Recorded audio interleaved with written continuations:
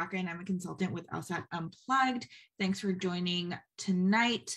Um, starting this week, we're going to do a little bit of a series on kind of writing your essay and, and tips and tricks to get that done um, in each stage of writing. So today, you know, there's no better place to start than the beginning. So we're going to start with kind of um, how to start writing your essay and brainstorming topics and you know what um, admissions is looking for in that um, especially in that personal statement um, happy to talk about other statements as well but um, for this session in terms of brainstorming i think we're going to focus on personal statements so if there are any questions um, feel free to put them in the chat or come off mute um, and we'll get started. So I'm going to share my screen.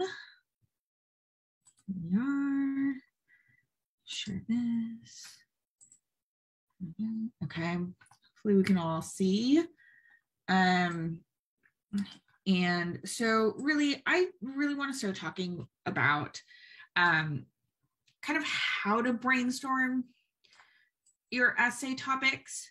Um, I think when we first think about you know, ooh, writing a personal statement. Um, you know, we all think of a story, right? And when we think of a story, um, it's usually we kind of think of it for our hook. Um, and we're like, oh yeah, I have this great moment in time that I, I want to talk about in my in the hook of my story, and it would lead it would be a great lead into you know why I want to go to law school, and I think that um, I've seen nine out of 10 people start off their essay that way. And that's not a bad thing. Um, but I think the the way that we think about it um, is uh, kind of interesting because we always think of the story first and say oh and then like it'll tie into why i want to go to law school. And many times at, when we start thinking about it we don't define the why we want to go to law school right? So it, it's this session um, and this um, kind of class we're going to really think about how we can get that point across and really think through um, all the things that you need to include in your personal statement um, before you start writing this long piece about the hook and then this like last line of why law school. So um getting started. So first off i think the personal statement is a really interesting piece of writing where it's not really narrative it's not an a, a paper it's not a um, a persuasive paper either um, it's not a piece of business writing. It's a really interesting piece of writing where you're combining personal perspectives, narratives, and then a a action forward. So um, I think unless you do this as a profession, uh, it is really hard to get into the habit of writing something like a personal statement. And this goes for a diversity statement as well. Um, I think it's hard to talk about yourself um, in a way that is really simplified and understandable to a mass audience. And I think um, that's the mass audience piece is something that we keep forgetting um, is admissions is a mass audience. They are people who are looking for people who will be a good fit into a school. So it's not the layperson, but also across the US, there are different people who sit on admissions committees. So you can't expect them to be um, super, super experts in one area of, let's say, engineering or technology or arts, right? Um, we want to make sure that the language, the way that you're writing is understandable by a common person. So it comes across mostly the same um, across all the schools that you're applying to. So, with that being said, I think it's important to get used to writing. Um, if you're right out of college and and um, you're you are in a major that writes a lot, um, which I have experience in, um, you may be very very used to writing and you know can get out of not writing to writing very quickly um, if you've been working for a while and you know your day to day is a lot of email writing and proposals and all of that this kind of writing can be very difficult.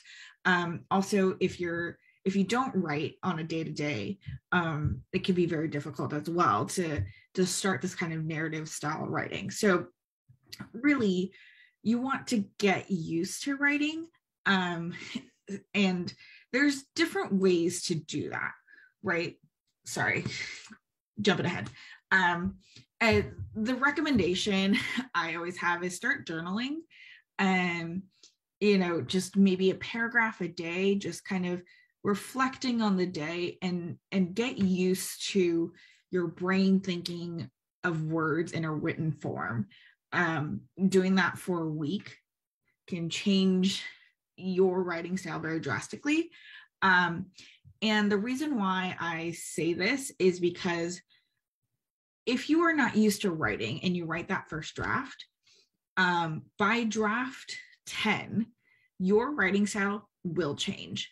And the sentences you keep from draft one all the way through draft 10 they float um, and it's very easy to identify like oh that's something that you wrote in your first draft or your early drafts and it stylistically doesn't fit into the, the last draft so really you know it's not a big issue but if you're used to writing before your first draft you can kind of mitigate some of these like massive stylistic changes over the course of the many drafts you're going to write. Anyway uh, moving back to the the personal statement itself. Um so writing um you know especially for a personal statement we're talking about ourselves our lives our experiences and why we want to go to law school and in that um you know not everyone's uh, why is the same not everyone's experience is the same um and we really want to hone in on your voice, tone, and style, right? So those three things are really important um, when you want to write a essay that is easy to read, easy to understand. Um, you know, emotionally, if something is very emotionally charged, you want to make sure the tone is right or the the voice is right for that um, emotionally charged story, right? So we really want to gauge all of that moving on to topic um you know the personal statement most schools they're very very wide right? The the the breadth of topics that you can choose from. Um but i think these that are listed here fairly common you know why law school why you're a fit for a particular school. Um i you know you could say i have legal experience you're compassionate so eh, or you want to be an advocate for people. Um you know you had a life-changing event your family had legal troubles all those things um valid topics right? They're they're not uncommon um doesn't mean you have to choose an uncommon topic um but it's all about how to make it yours. Thinking of all of these things, um, you know, this usually happens after you start thinking about that hook story, right? Like that story, you're like, oh, yeah, you know, I'm walking into the courtroom to, you know, be a witness to um, you know your parents legal troubles and they went to court and you were there sitting there trying to understand you know that story that you have in mind is usually independent of these topics that you might think of. Um, so when that happens, your essay ends up being like a, a, a hub and spoke sort of situation of you are basing that story, you are basing your essay on that story that you wanted to tell. And then you say oh yeah i have to talk about why law school. Oh yeah i have to talk about what i'll bring to the law school. Um, and then i also have to talk about you know what my accomplishments are because it, you know i want to sound impressive. And then you know maybe you want to talk about a specific program at the law school that you really want to participate in. Um, and then you know maybe another accomplishment that really reinforces why you're going to law school. So it can turn into this big massive thing. And and then you know you come and say to yourself oh my gosh i don't know how to fit this into two pages right and those of you who've had years of professional experience, it might be even difficult just to choose which story to tell. So, really, um, it this way of kind of looking at your essay might not be the most productive is is my my whole spiel today um, if you take home one thing is maybe think of your essay from a different point of view. So um like i said this is a lot to put in. Um, and you know two pages is generally the guidelines. Um, there are schools that go up to you know four pages but really two and a half three pages if if you get that leeway um, is probably a good sweet spot. Um, that's a lot to put in. And i have to say your whole life is not going to fit onto two pages so don't force it um, so i think a different approach than asking, oh, you know, write a personal statement. And then, you know, thinking about that story, you're like, oh, that's an interesting way to start my essay. Um, I think the first question we can ask is, what do you want the law school admissions to know about you? Um, usually, when you ask this question, um, there the most people will say, you know, I'm compassionate, um, I'm a eloquent speaker, um, I'm detail oriented. I I love this this part of my career, but I see the gap. So, you know, that's what I want to fill. I'm super passionate about something. You know, those are the things that usually people say when you ask, what do you want the law admissions law school admissions to know about you. You're not going to say, oh, yeah, that one time I walked through the doors of um, this company and I saw the injustice. That's not really what you're going to say when when you ask yourself this question or you when you ask anyone this question so that's the framework that i think i want everyone to kind of think about when they're looking at their personal statement um a little bit of a side note um i think you know a lot of times you see essays that say, you know, I want to help others, and it's very, very generic or kind of self motivated, like I want to make a lot of money. Um, I think these two reasons are fairly generic, and I don't think that um, it's conducive to an interesting essay. Um, at the core, I think helping others is important, but the how is also important of like how you're going to bring that individual um, spin to that. So, you know, really kind of think outside, not outside of the box, but think beyond just, oh, I want to help others um, or I want to make more money, right? Let's, let's kind of expand that a little bit and think about how you're going to do that in the legal space. Um, another way to think about it, um, I don't know if anyone has heard of Simon Sinek and his lecture um, on the Golden Circle. He did a TED talk, and it is one of my favorite um, YouTube videos that I refer back to over and over. Um, I love that sort of, uh, you know, kind of way of thought. And for me, um, this golden circle of the middle being the why you know your big why. Why are you doing this? Why what motivates you to make this big change for yourself? That's at the core. The how is you know how you you're going to accomplish that. And then the what right? Like what happened? So i think um many times our essay sits in the what um part of the circle um, and actually, what we want to get to is the why. And, and, this is kind of the big key thing that we want here. um, in your personal statement. So if you're missing this, it almost feels like a wishy washy essay. And I know when I read essays, people who state their why, but have like a, a like a really not well written essay, it still has a lot of weight compared to a well written essay, um, you know, of their sentences are right, they have great grammar, they have great expression, but the why is missing. It feels a little wishy washy. So, really think about where that focus is in your essay.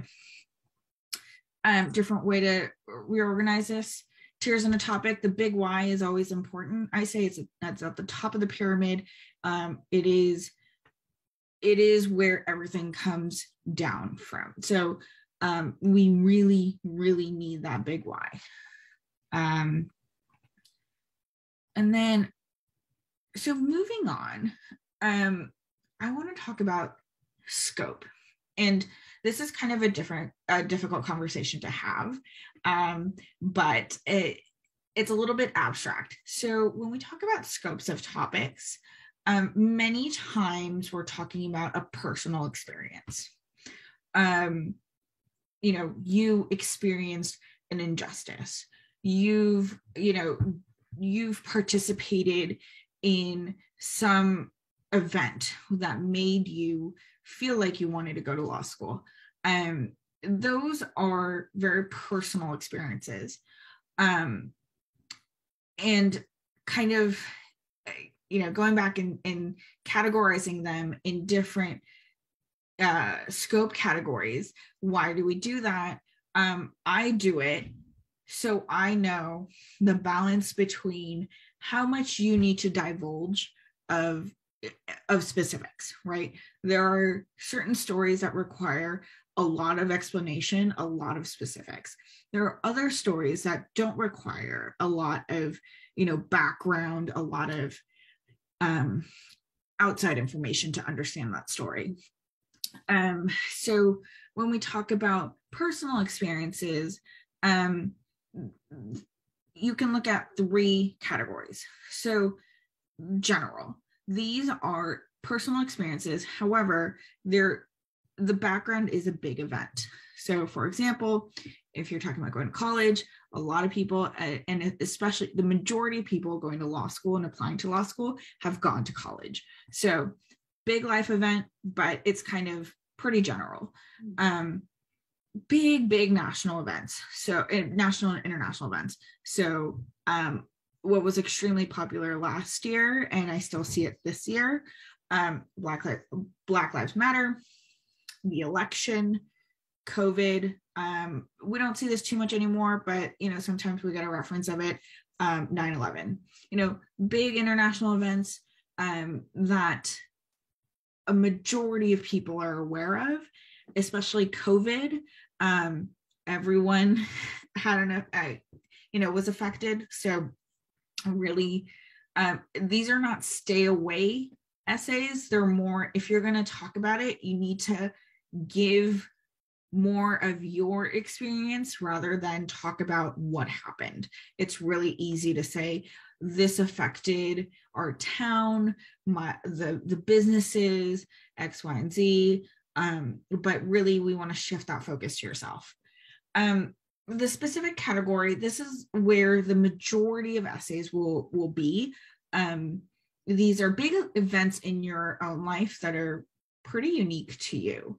So if you had a particular legal trouble um, for example if you filed for bankruptcy and you had to show up in court um, you were working in a law related field or you're working in a currently working in a firm um, work experience has, has led you to a legal profession um, life changing events.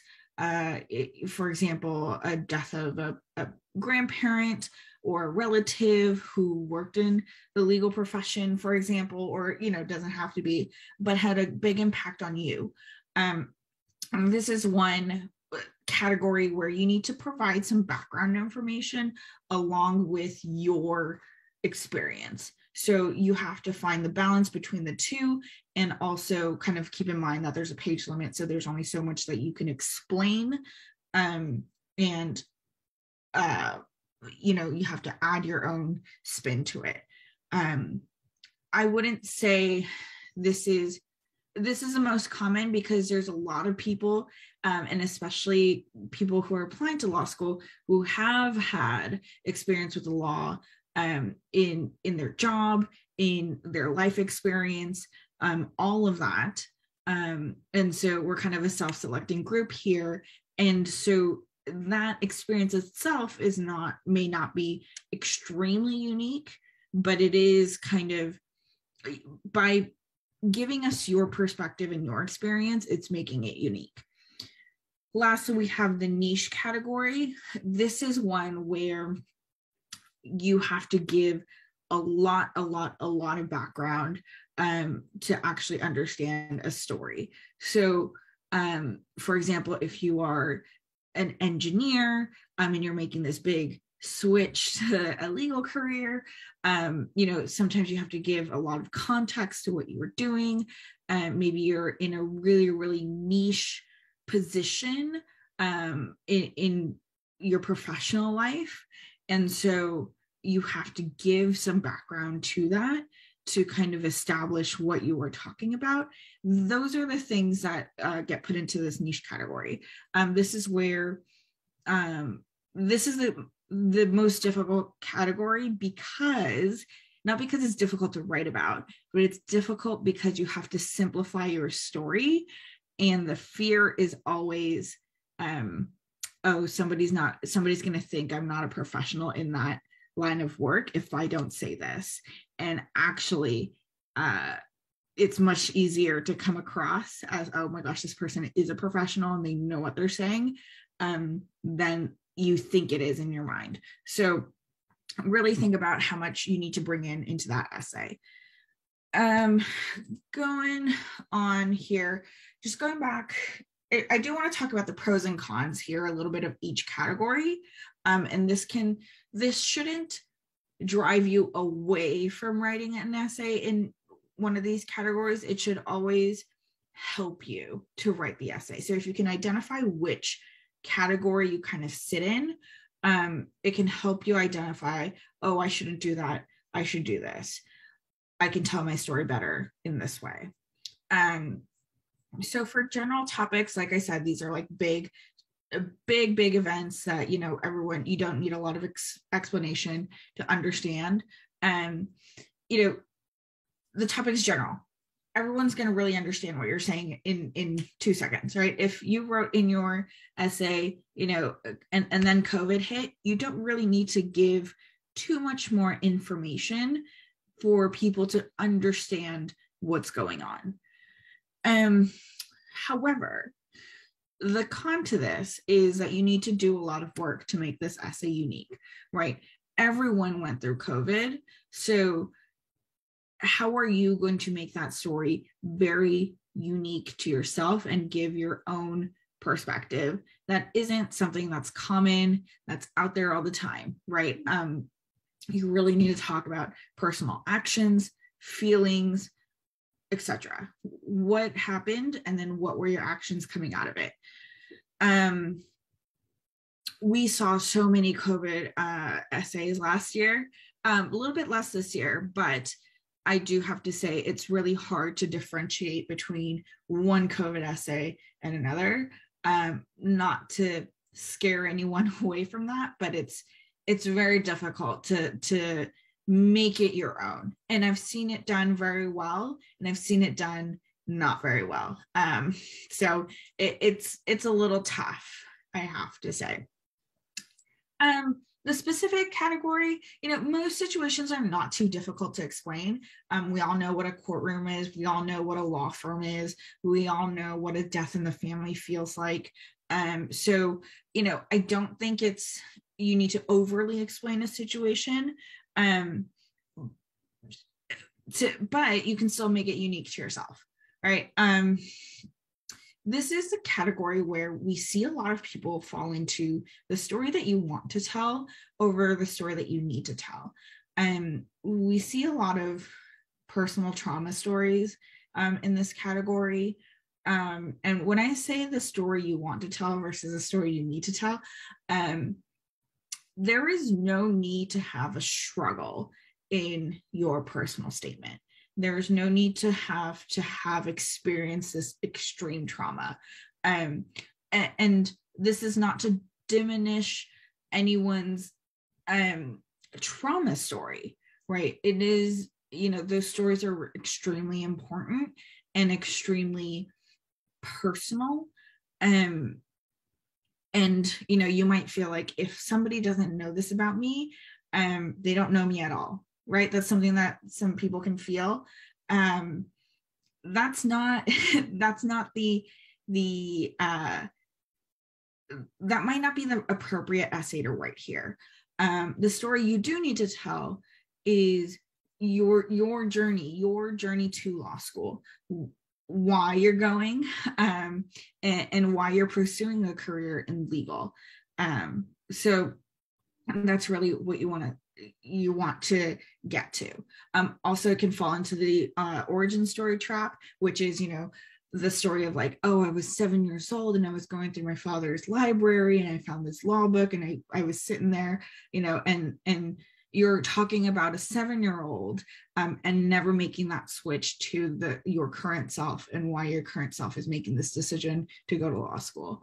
Um, so those are the traps there. Um, it's very common to see those. Um, but if you can avoid it and really talk about an experience that is unique to you, um, I think this this category is, you know, the most common and, and probably the the easiest to write. Um, going to the niche category, um, this usually is pretty cool, and it's really cool to see essays that come into this category of like a niche niche point of view. Um, because it's this very niche point of view it's an interesting point of view. Um, and it it fits well for those people who have a lot of work experience those people who are applying to law school um, 10 20 years into their career. Um, this is a really cool essay to write um, however the con is is that there's so much information that you need to share that you are sharing more information than your experience. And so um, a lot of times people who write in this this uh, category of essays they've written a page and a half of um, all these intricate things about their job and their experience. And then they're like the last two sentences this is when i want to go to law school so we really want to avoid that um, we want to keep it personal, talk about yourself, your experience. Um, don't try to over explain, um, keep the story simple. So that's really the the meat here today. Sorry, I keep scrolling. Um, that's really the meat here today in thinking about your personal statement.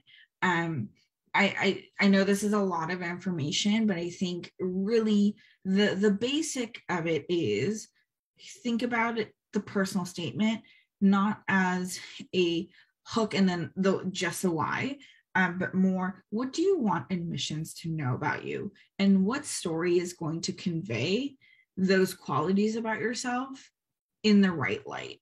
Um you know people who um write those really tough essays about trauma that it, they experienced. It shows a lot of strength. Um, but sometimes it ends in just trauma and, and not kind of come out of that um, into either action or you know their why why law um, so we really want to be careful of that and kind of make sure we come out with action items and and and why you're pursuing this career so um you know i I think I and I hope the takeaway is to think of the essay a little bit differently. Think of it in this what do you want the law school admissions to know about you um, question. Um, and I think you would be better off uh, if you start that way. So I know I've talked for 30 minutes. Um, any questions out there? I'm happy to take on like brainstorming ideas now if we have any.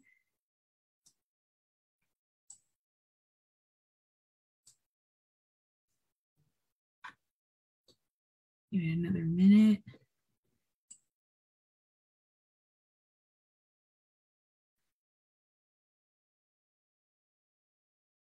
Okay, great. Um, well, thanks for sticking with me. Um, you know, if you have any questions about this class um, or any of the classes that are coming up, uh, feel free to, you know, send in questions to admissions at lsatunplugged.com. Um, and if you want your essay read, um, also reach out to admissions at lsatunplugged.com and, and we'll get that on the calendar. Um, thank you for your time today, and I hope you learned something. And uh, have a good night. Thanks for tuning into the show. Please subscribe if you haven't done so already to be notified of new episodes as I release them. And feel free to reach out if you need anything at all as you move forward with your prep. I'm happy to help however I can. In the meantime, I wish you all the best and take care.